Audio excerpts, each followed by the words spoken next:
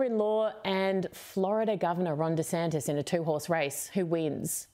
Um, I think that Ron DeSantis is very smart. Look, he's a young guy. There will be a lot of opportunity for him in the future, and he knows this to run for president. And so I think he's probably waiting to see what my father in law does. And I think he's a smart enough guy to know uh, that it would be great to have all the support of this party, of the America First MAGA movement, whatever you want to call it, fully behind him in 2028, then possibly, you know, fracturing it in 2024. I can tell you those primaries get very messy and very raw. We've experienced that before.